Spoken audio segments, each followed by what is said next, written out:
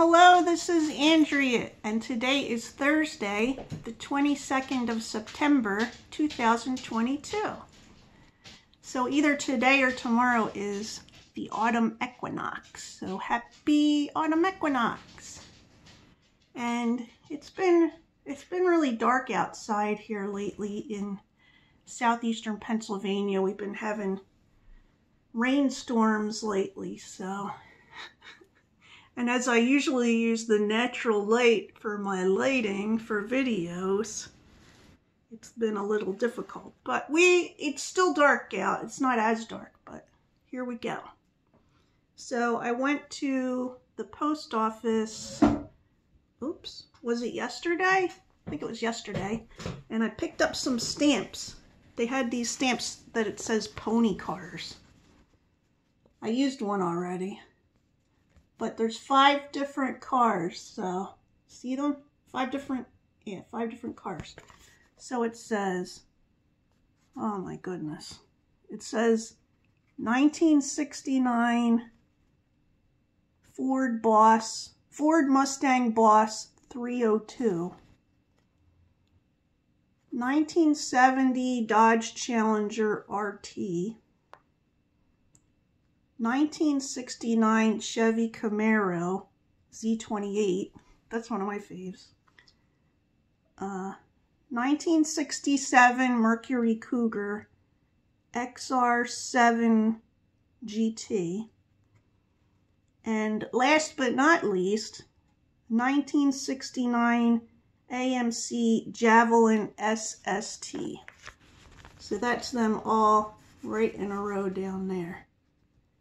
And I think the stamps are 60 cents now for first class. So I was looking for, they're supposed to be, my friend was telling me there's supposed to be Charlie Brown stamps coming out, you know, the Peanuts, Peanuts gang, but they said it's not out yet. So I have to go back. And uh, yeah. So Bob and I did watch a movie this past week. We watched a movie called Prey, P-R-E-Y, and it is one of the Predator movies. It's the newest Predator movie, but it's set, um, well, I don't remember if it was the 1800s. I think it was around the 1800s, and there's a um, Native American tribe that's um, encounters the predator and they're battling with the predator. Anyway, it's got all the same kind of stuff like with the fighting and different different listen, if you don't like gore or anything, you don't want to see this. but it was pretty good if you like predator movies. So it was interesting because our youngest son watched it with us and he's never seen any of the Predator movies. So I wonder it's going to be like what it's going to be like for him seeing that one first and then seeing the other ones. So, have you seen any new movies or TV shows lately? There's some TV shows coming out that I'm interested in. Like the one called Wednesday. It's about Wednesday Addams. And there was something else too. I don't remember. Oh well, maybe it'll come to me. But guess what I found?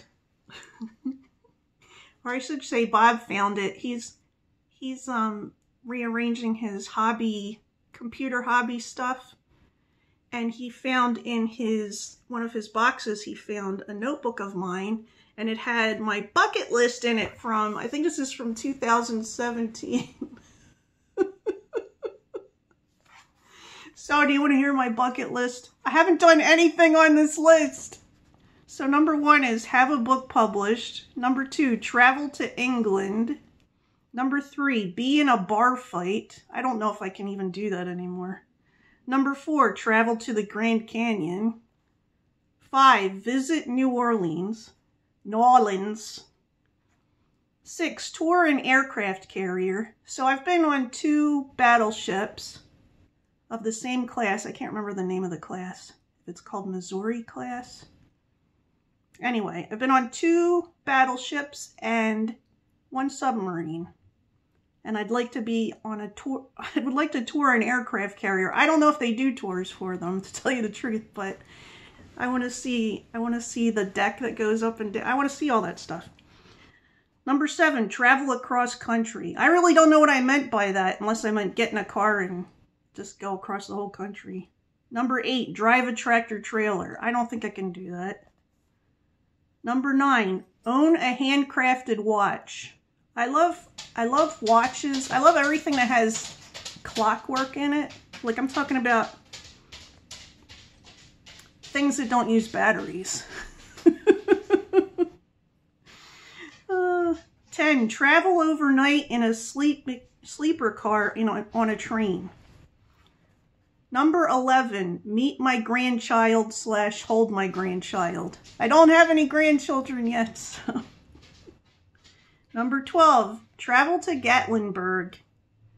Number 13, visit Window Rock.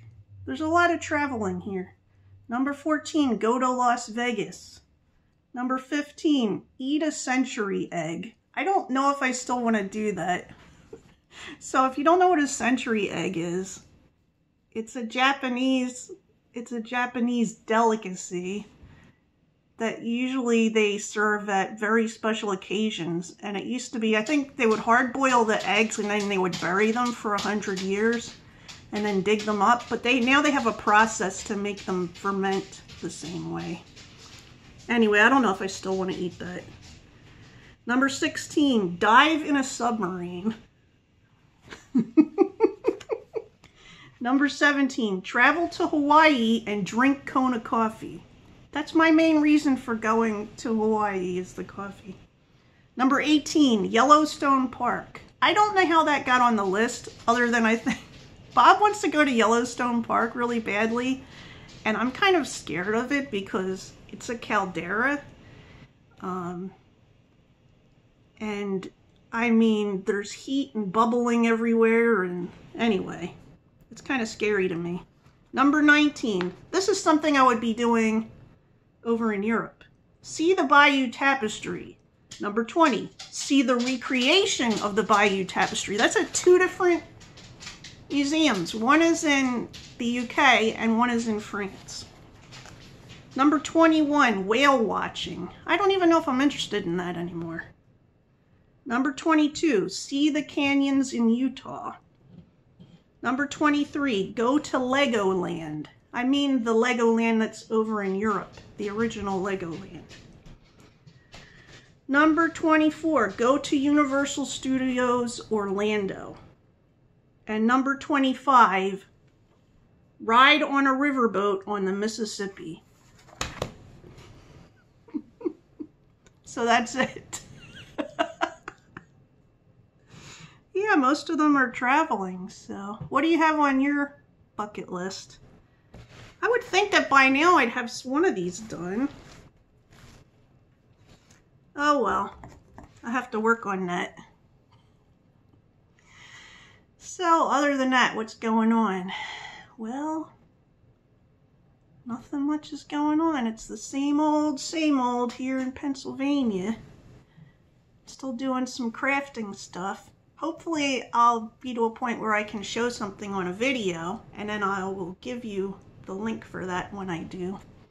But other than that, that's it. Well, Bob and I have been playing a lot of Animal Crossing lately, so we got that going on.